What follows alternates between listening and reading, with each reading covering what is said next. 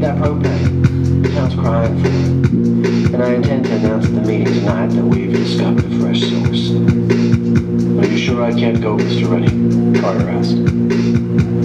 Although some probably will be because people don't know how to behave. Better tell Twitchell to get an ambulance out there. Carter wrote.